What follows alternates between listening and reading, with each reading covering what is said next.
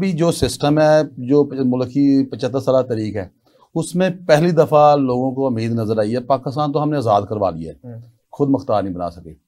देखें इस्टेबलिशमेंट का भी काम है रोल है पर जो आने वाला जो वक्त आप देख रहे हैं जो हम रोज़ जो हमारी डिस्कस होती है हमारा डिस्कशन होती है वो ये है कि हम चाह रहे हैं खुद मुख्तारी। आप नहीं चाहते खुद मुख्तारी हो हमारी? खुद मुख्तारी की डेफिनेशन है क्या? क्योंकि पाकिस्तान तरीके हम्म। इंसाफ ने जो आज़ादी मार्च और एक आज़ादी का नारा लगाया था या हकीकी आज़ादी का नारा लगाया था वो किसी बैरून मुल्क किसी रशिया अमेरिका के खिलाफ तो नहीं लगाया था। उन्होंने तो जाके स्टैब्लिशमेंट या हमारी आर्मी का गिरबान पकड़ा और जिस तरह से बदनामी हमारी आर्मी की पाकिस्तान की तारीख में इमरान खान साहब ने की उसकी बेशुमार आपको मिसालें मिलेंगी कि हर पार्टी ने कुछ ना कुछ बोला है लेकिन इमरान खान साहब ने जिस तरह से पाकिस्तान की आर्मी को टारगेट किया पता नहीं किस इंसान ने किस बेवकूफ़ इंसान ने उनको ये मशवरा दिया था कि आप आर्मी का जाके गिरबान पकड़ लें। आज रिज़ल्ट अभी सुने जरा। ये अगर रिवाइंड में अगर आप रिवाइंड में जाएँगे तो आप देखेंगे कि मरियम बीबी क्या बोलती रही है नवाज़ शरीफ क्या बोलता रहा है ये सारी चीज़ें। और मेरे लीडर ने कभी भी किसी को हिट नहीं किया वो सिर्फ़ एक बंदे को या एक शख्स को कहते होंगे या दो बंदों को कहते होंगे। सर सिपा सलार छह लाख की आर्मी को सुन ले जरा। वो साहब का कह रहे हैं। अभी आप जो गौर से करें जरा चीज़ों को। हम ये चाह रहे हैं कि हमारा पाकिस्तान खुद मुख्तार हो हमारे फैसले यहाँ पे हों पीडीएम वाले फैसले ना करें वो दुबई में बैठ के ना फैसले करें वो इंग्लैंड में ना करें, लंदन प्लान ना हो, हम ये खुद मुख्तारी जा रहे हैं। हमारा मकसद है खुद मुख्तारी। ये नहीं कि बंदे बगौड़े जाके वो बाहर फैसला करें। अब देखें, साफ़ नज़र आ रहा है कि आधा मुल्क कच्चे के डाकू चला रहे हैं, आधे पक्के के डाकू, आधे जो है पक्के के डाकू चला रहे हैं। ये आप तो देख ही रहे हैं सारा।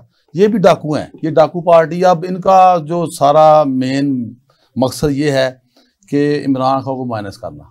तो ये अल्लाह के वजह से नहीं हो सकता है इमरान खान ही पीटीआई है पीटीआई ही इमरान सर खान आप जब डाकू की बात करते हैं आपकी बात को मैं सॉरी काट रहा हूँ जब आप डाकू की बात करते हैं इमरान खान के ऊपर एनसीए का स्कैंडल चल रहा है एक नेशनल क्राइम एजेंसी का इसके अलावा तोशा खाना का चल रहा है इसके अलावा बेशुमार इनके ऊपर करप्शन के केसेज हैं। हम हमेशा यहाँ पे लेके बैठ गए जी सबका हमारे चीफ जस्टिस साकिब निसार साहब ने बासठ तिरसठ के बाद उनको जी सादक और अमानत का एक सर्टिफिकेट अच्छा। दिया। अच्छा आप मुझे बताएँ जो शख्स इस सदाकत और अमानत का और मेंबर पे चढ़ के नबी पाक का वसीला दे के और वहाँ पे जाके उनकी एग्जाम्पल्स देता है, हज़रत उमर की वहाँ पे जाके मिसाल एग्जाम्पल्स देते हैं। उन शख्स को क्या ये जेब देता है कि जब उनको सुप्रीम कोर्ट बुला रही हो और सुप्रीम कोर्ट उनको कह रही हो कि हमें बताएँ कि तोशा खाना जो आपने सेल किया, जो आपने घड़ी बेची, कहाँ है इसके वो जराए तो वो आगे से कह रहा है I don't know N C एक सौ साठ मिलियन डॉलर का केस है। वो कह रहे हैं, मुझे क्या पता पाउंड का केस और मुझे क्या पता, मैंने तो बस जी, हमारे यहाँ पे स्टेट बैंक में पैसे आने चाहिए थे। सुप्रीम कोर्ट में चले गए, मलिक रियाज ने मेरे अकाउंट में दे दिए, मुझे थोड़ी सी ज़मीन अलॉट कर दी, मुझे क्या पता? तो ये जेब देता है। अच्छा सुने जरा।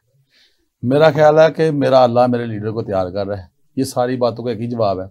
कल उन्होंने बोला कि ये सारा जो सेल परचेज थी, ये मिलिट्री सेक्रेटरी साहब कर रहे हैं। तो उनको लेके आए।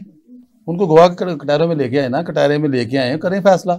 ये हम तो चाह रहे हैं कि सब लोगों का फैसला होना चाहिए। इतसाब तो होना चाहिए। अब क्यों भाग रहे हैं ये? आपको पता है ये बड़ी जल्दी में है। यानी कि ये आठ गज से पहले कुछ करना चाह रहे हैं। आम लफ्ज़ों में अल्लाह ना करे, ये माइनस कर रहे हैं। ऐसा इनका ख्वाब नहीं पूरा होगा इन शाला इमरान खान ही आएगा। क्योंकि बाईस नहीं, अब पच्चीस करोड़ वाम हो चुकी है हमारी, वो उनकी उम्मीद इमरान खान है